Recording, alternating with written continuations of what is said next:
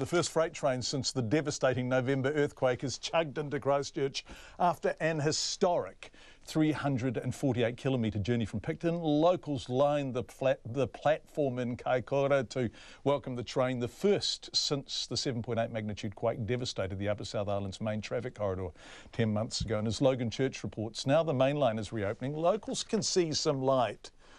Sorry about this, at the end of the tunnel.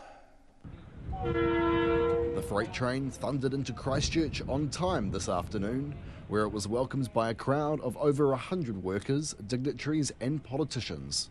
It marks a critical milestone in the repair of the South Island's transport network, with almost all of the freight that used to be carried on trains having to be hauled on trucks instead. The train's driver, Wayne Sullivan, was trapped in another train during the Kaikoura earthquake and had to be airlifted to safety. He says it was a scary experience, but is excited to be back on the line. Quite happy to be on this train because uh, I think KiwiRail stopped paying me until I finish this job, so it's good to get it done, yeah. Rail is the future, hopefully, here in South Island, and uh, from all the support we've been getting, it's all signs say that it is, so it's good. Earlier this morning, the train stopped in Kaikoura, with over 100 locals turning out for the occasion, some overcome with emotion. The seaside tourist town is still feeling the impact of the earthquake and is regularly cut off during bad weather and flooding.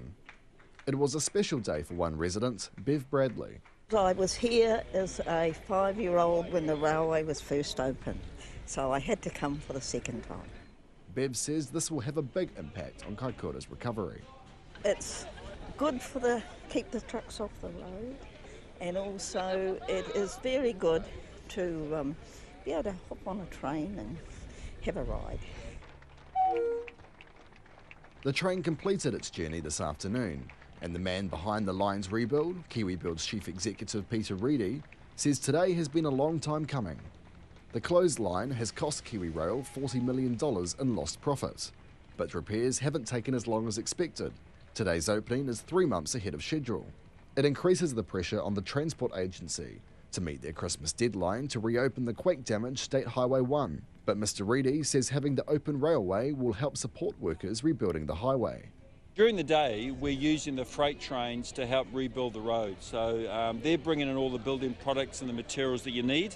So we're running two trains a night, and during the day, we've just got to leave the track open for uh, the building materials to come through. Peter Reidy says there were many challenges along the way.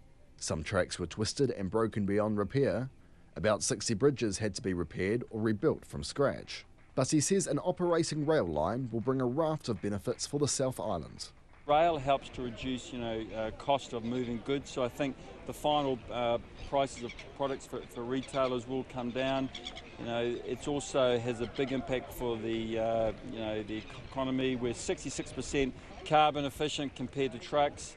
For the meantime, a freight train service will only run at night so workers can help support the repair of State Highway 1. But Kiwi Rail says it's on track to have passenger trains operating by September next year. In Ōtautahi for Checkpoint, call Logan Church Tene.